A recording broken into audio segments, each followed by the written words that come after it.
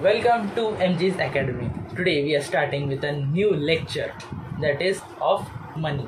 We are uh, in the series of IPM Standard Second. So let's start.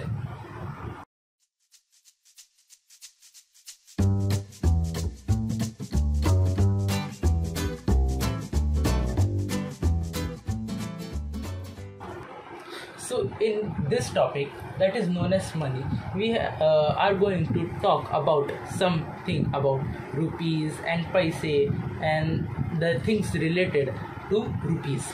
So let's start. Here we can see in India the unit of money is rupees. We all know that the unit of money is rupees. We want to buy something, we have to use rupees. Then 1 rupee is equal to 100 paise. Paise is a sub unit or just smaller than rupees. But uh, today we don't use paise that frequently, we, we use rupees. The symbol for rupee, rupee is just 1 rupee. That is re dot. And rupees is 1 more than 1 rupees. That is rupees rs dot then the symbol of paise is p dot. It is not common these days but it is a unit of paise that is p dot. Then the number on the left hand side is rupees and on the right hand side is paise. So we can uh, see that while writing any uh, amount of money we write like this. If some chocolate or any biscuit is there uh, we write rupees 45 dot zero zero or something paise rupees is there we write on the this side. So we we can see that on the left hand side it is 45 rupees and on the right hand side these are paise. On the right hand side of the dot and on the left hand side of the dot and we use this symbol that is the r symbol is used to represent rupees this symbol. So this was all about rupees and how money is calculated in india. So let us take some examples. So this is our first example so 120 rupees plus 100 paise. This is the unit of rupees and this is the unit of paise. So 120 rupees plus 100 paise. So here we can see 120 rupees are the unit which we calculate in rupees. And 100 paise is the interesting quantity. Because we have learned that 100 paise make 1 rupee. We have seen that in our theory that 100 paise make 1 rupee. So instead of this 100 paise we could write 1 rupee. Yes so let us write that.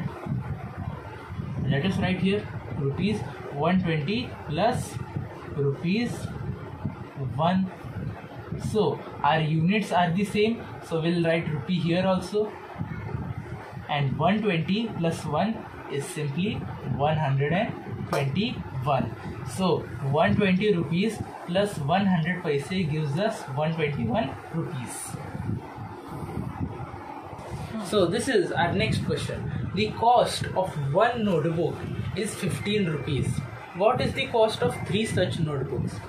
So here one notebook is rupees 15 so let us write our cost that is rupees 15 this is of one notebook there are three such notebooks.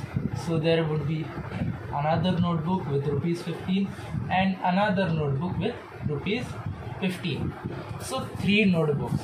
So this is a simple case of multiplication. So it is simply we can write it as rupees 15 into 3 so the unit of rupees remains same because we have to find the cost of three notebooks. Cost is always measured in rupees. So 15 into 3 is, let us assume 15 stable. 15 ones are 15, 15 twos are 30 and 15 threes are 45. So the cost of 3 notebooks is 45 rupees. So this is our third example. Here, how many rupees 20 you need to make rupees 100? In multiplication, we have seen that question about how many 4s make 24 it is same like that. How many 20s make uh, make 100 so 100 is what is our answer to be made. So we'll write 100 on this side and 20 is what to be multiplied. So we'll write 20 and the number that needed to be multiplied is that we have to find so here in 20's table 20 1s are 20 22s are 40 23s are 60 24s are 80 and 25s are 100 so the number or the number of notes of 20 rupees you need to make rupees 100 are 5 notes. So this was our question.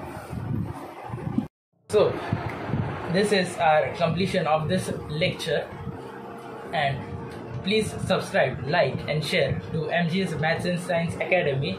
After subscribing, you are supporting this academy to make such new and interesting videos. So please subscribe